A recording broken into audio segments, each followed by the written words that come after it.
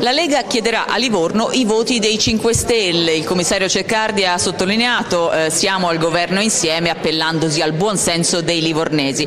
Chi conosce i livornesi perché sono suoi concittadini e conosce anche il candidato del PD per essere stato suo collega a Telegranducato è il consigliere regionale Francesco Gazzetti. Come vede eh, il ballottaggio a Livorno? Come andrà?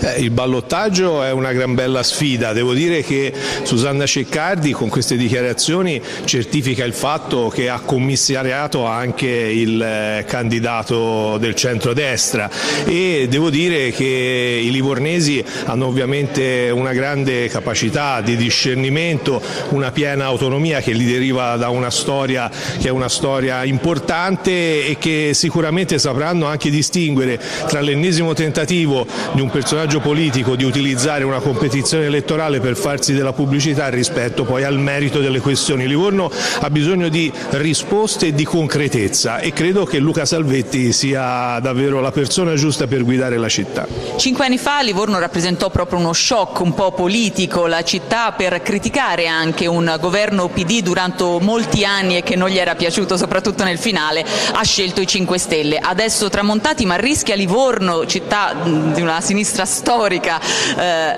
di passare al centrodestra, potrebbe davvero accadere?